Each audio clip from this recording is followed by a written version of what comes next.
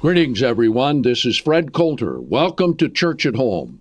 Church at Home is dedicated to restoring original Christianity for today. What is the truth of the Bible? What is the truth of the Word of God? How do we know where we are in prophecy? What has happened to the world? How did we come to have such corrupt governments around the world? And it just seems everywhere you look, there's trouble, there's difficulty, there's war, there's famine, there's pestilence, there's natural disasters. Or like we have the oil explosion in the Gulf. Where will that lead? We'll just have to wait and see.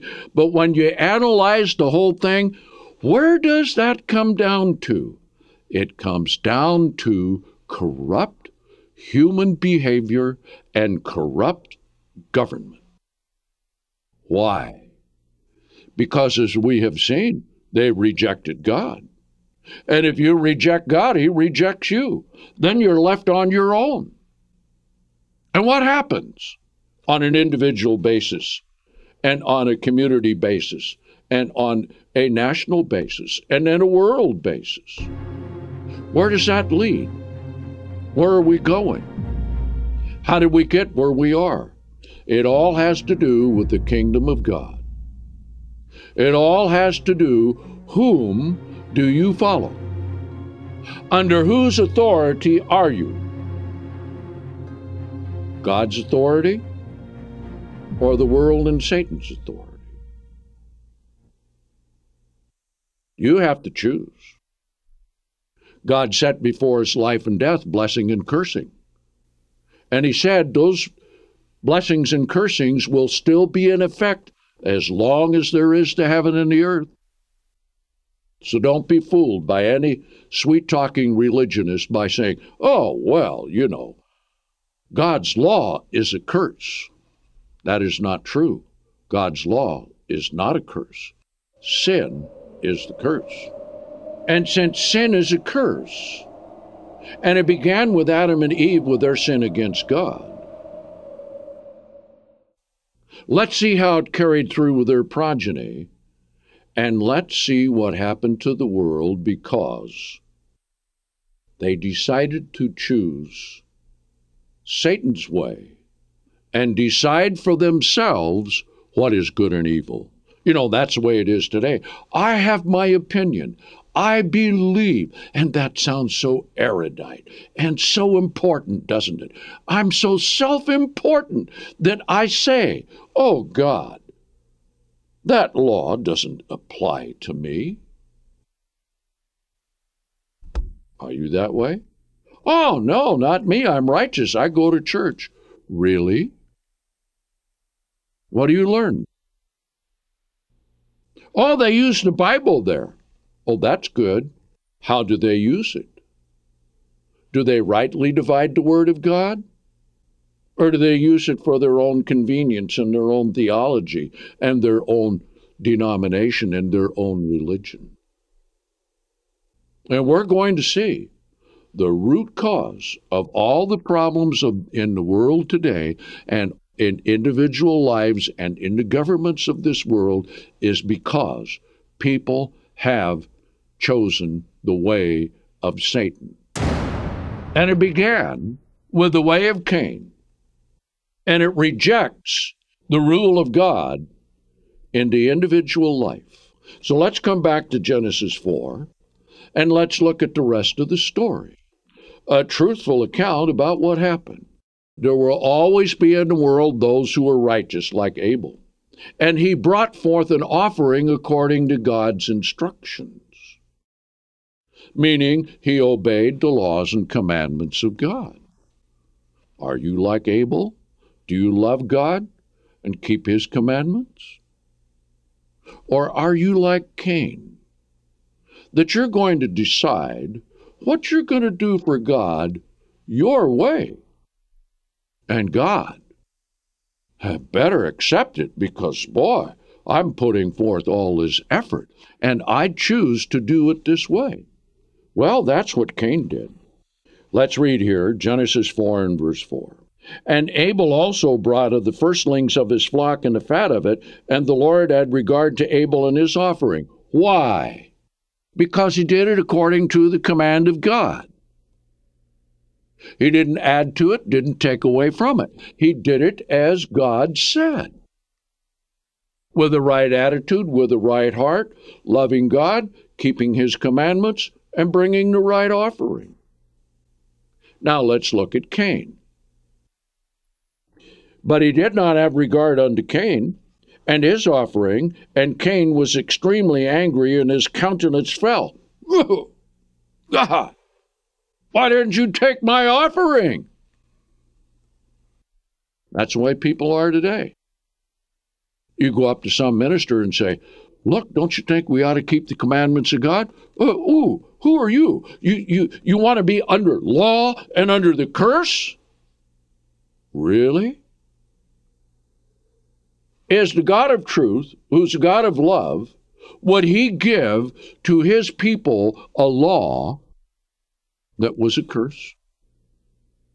If you answer yes, well, you might as well turn off your computer and go somewhere else because you have no clue as to what the truth is. All of God's laws are given in love. If you obey, there are blessings. That's what we saw last time, right? Yes. If you disobey and go after other gods and go after other ways, or even worse yet, you do like Cain. And most people don't understand what Cain did, and that set the pattern, the mold for the civilization before the flood. And we're going to examine what happened to those nations, how they behaved, and we will draw some parallels with today. So let's read on. God said to Cain, If you do well, or that is, if you do right, according to my instructions and my command, shall you not be accepted? God is no respecter of persons, but you must do what God says. Let me ask you in your life do you do what God says? Or do you do what you think is good and expect God to accept it? Let's read on. But if you do not well, sin lies at the door. Very interesting, isn't it? Where was that door? Well, that was the entrance to the Garden of Eden. So there was an altar there that they could bring their offerings and Cain brought his. And he didn't do it according to the instructions of God. Like many people today, they have their own religions, they have their own ways.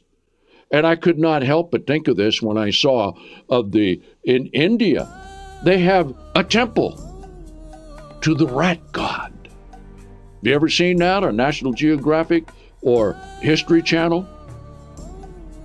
And how do they honor the rat god? Oh, the temple's full of rats. And they come and bring food and offering to the gods because they believe in the lie of reincarnation. And they feed the food to the rats lest they sin and are reincarnated into a lower form of life. Nonsense and foolishness. They're cut off from God.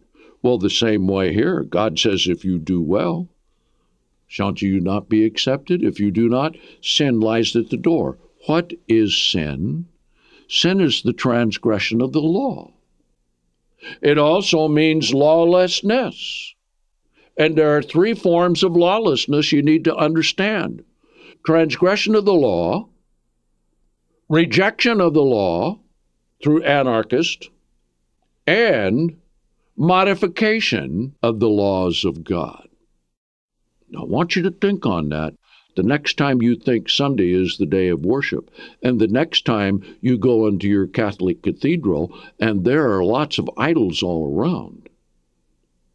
They've taken away and added to, haven't they? Yes, indeed. sin lies at the door. That's why God is not there. That's why church at home. So you can study your own Bible. You can learn at home. You can understand the Word of God at home. Now, notice what are we to do when sin lies at the door? Its desire is for you under the inspiration, or how shall we say, the influence of Satan the devil. Its desire is for you to hold you in bondage, to keep you transgressing against God. However, when you know the truth from the error, sin from righteousness, right from wrong, he says, but you must rule over it. So we don't have to be captives to sin, but people are. Because they don't want to accept the rule of God from the kingdom of God. What do they accept then? They accept the rule of man under the kingdom of Satan the devil, though God has divided the world and let it be ruled over by angels, righteous angels and fallen angels. Now, notice what happened. Cain went out and repented, and everything was wonderful from then on. No, it didn't happen that way. He got jealous and angry and hateful toward his brother and murdered Abel.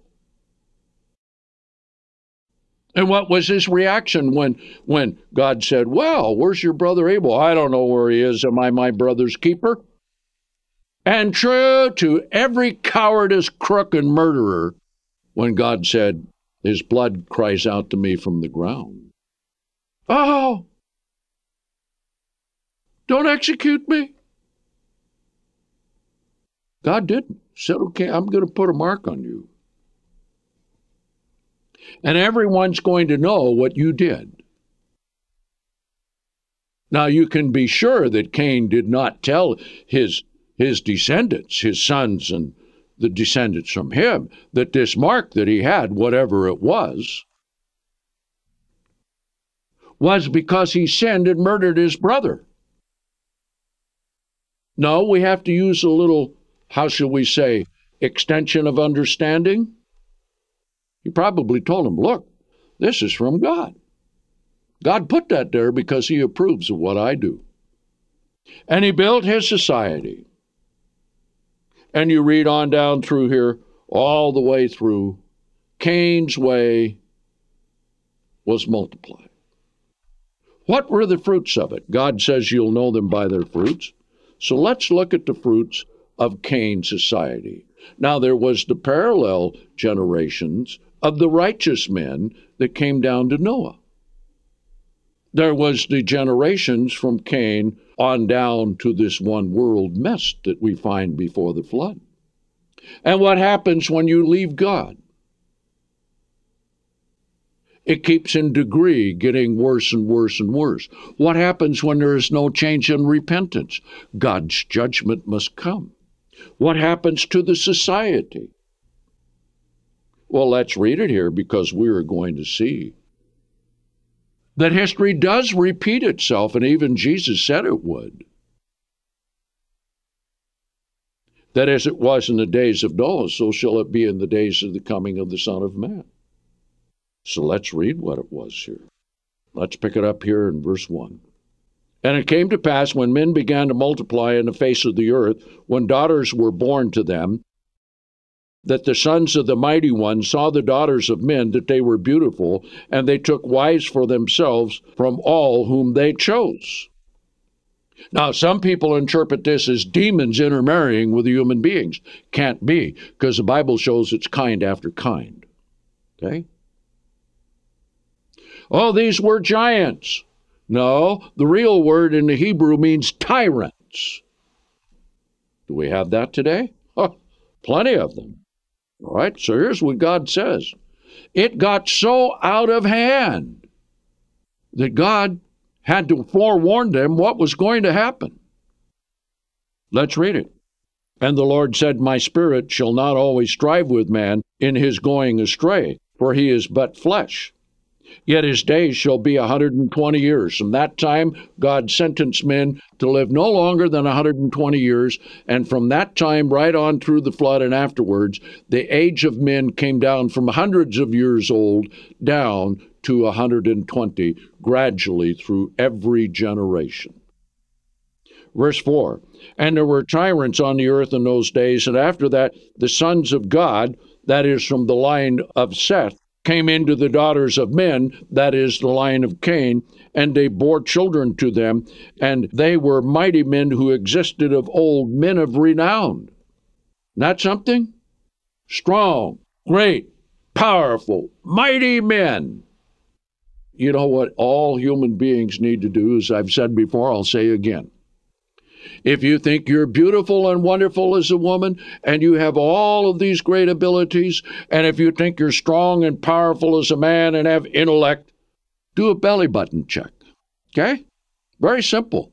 All have one, right? what does that tell you? You came from your mother and father, right? Yes, indeed. And you're subject to death.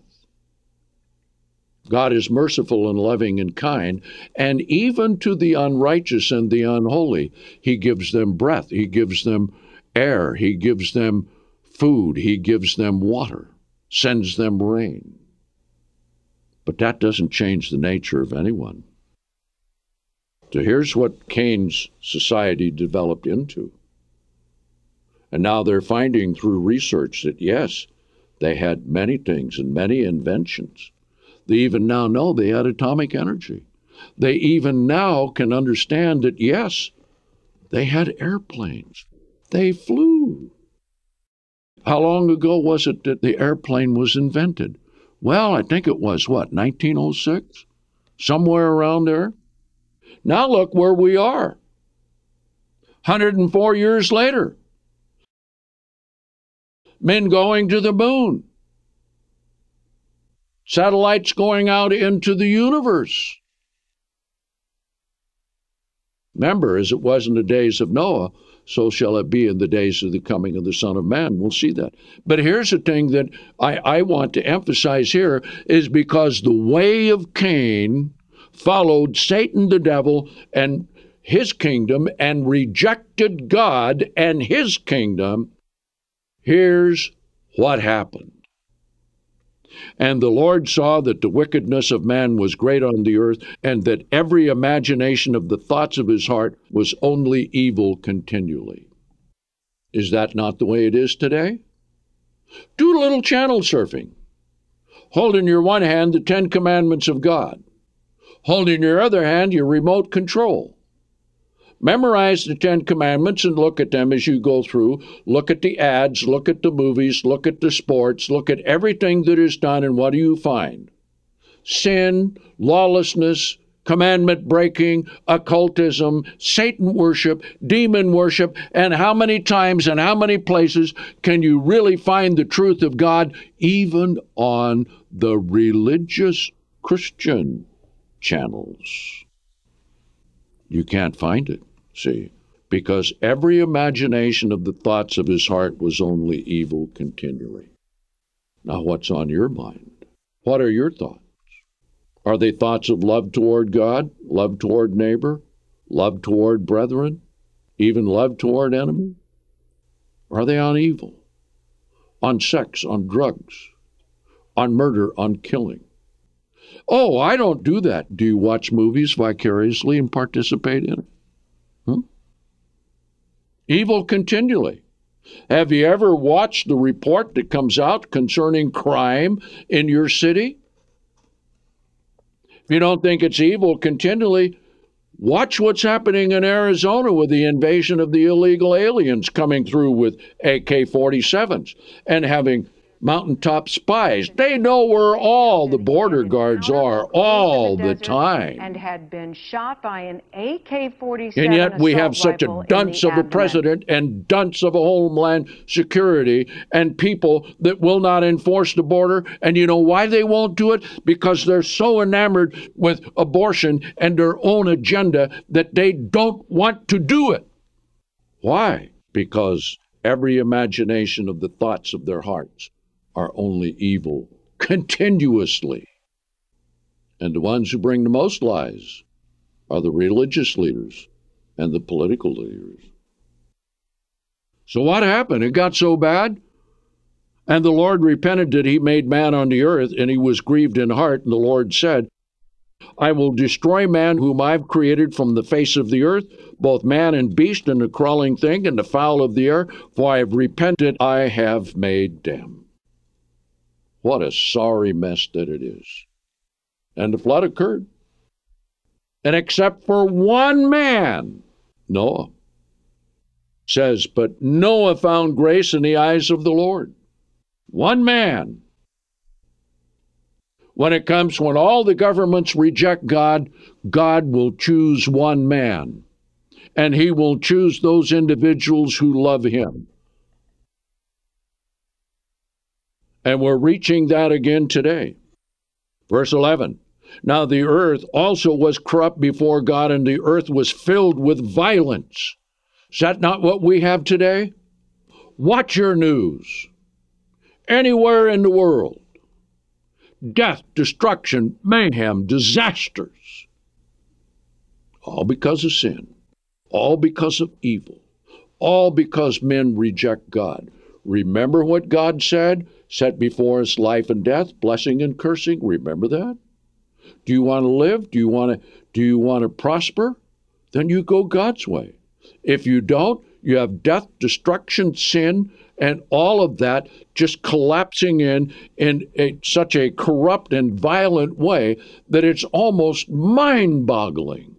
Well, it was back then. Verse 12. God looked upon the earth and behold it was corrupt, for all flesh had corrupted its way upon the earth. All flesh. That's what we have today, don't we? Yes, indeed. Why? Because they followed Satan the devil. They followed their own way. They did not follow the kingdom of God. They rejected God. They followed the way of Cain. God sent the flood, destroyed everything. And you can go to the tallest mountain on the face of the earth, and what do you find? You find strata with marine life in it. Because there was a flood. And it did cover the whole earth. Matter of fact, they know there were two floods one before the creation of man, two, the flood of Noah. Why are we here? We want to think we're all important. We want to think that, oh, how good we are, strong we are, smart we are. You know, just like today, what do they say in politics? Since we're speaking of politics and the kingdom of God or the kingdom of Satan, here in the Western world, we have reached a point of no return because of all of our lying, cheating economic ways. They're never going to solve it. And it's all going to come crashing down because they reject the way of God want to follow Satan the devil. Oh, but they don't think that. These are really good men trying. Really? Is it so bad that it cannot be repaired at this point? I want you to learn a lesson, a real principle you need to understand. You cannot solve spiritual problems by political action and elections but you can solve political problems by spiritual action and by spiritual solutions, following the laws of God. So God says to Noah, The end of all flesh has come before me, for the earth is filled with violence through them, and behold, I will destroy them with the earth. Then he said, Make an ark. Quite an engineering feat. We won't go through the whole thing concerning the ark, but let's understand something we are here because of one man, Noah. And as we're going to see later, the nations of Israel and the true churches of God are here because of one man, Abraham. And we receive forgiveness of sin and the Holy Spirit of God because of one man, the Lord Jesus Christ. Need to understand that. So when you look at the broad way and you look at the scope of how people are doing things, you're going to know they're going the way of Cain, either in religion or in government. And the way of Cain leads to destruction. And it's right in the midst of the so called Christian churches today. Now, if you want to know how we got to where we are religiously today, and then also concerning governments, you email us for this book. We'll send it to you at no cost. Occult holidays or God's holy days, which? Because the holy days of God are the things that tell you about the plan of God and what He is doing. And when you understand the history of the occult, you are going to find a tremendous insight if you're willing to take the time to read and understand it, which is this the world is in the grips of Satan the devil. Now, we're going to see that next time. And all of the religions of this world, including the Christian Sunday keeping religions, are in the grips of Satan the devil and not God the Father and Jesus Christ, though they may profess it. Because in the New Testament, Jesus said, Why call you me Lord, Lord, and you do not what I say? Why do you not practice the will of my Father who is in heaven above? Because all of that's related to the kingdom of God and the government of God, the government of men, and the kingdom of Satan the devil, and what is happening on this earth. See, God wants you to understand the basic, simple things as an individual. And that's why we have church at home. So you can get away from the world, so you can take the Sabbath day and observe it at home, study your Bible, pray to God, learn and understand. Use church at home as a springboard, as a stepping stone to other understanding go to our other website, cbcg.org. We have 2,400 sermons, audio. We have transcripts. We have over 500 videos of sermons that have been done in the past. And you will see in every one of them that we preach the truth of the Word of God. We follow the Word of God. We are not involved in a movement. We are involved in helping you establish a direct relationship between God the Father, Jesus Christ, and you in your life. So, once again, thank you for inviting me into your home. So, until next time, this is Fred Coulter saying, so long, everyone.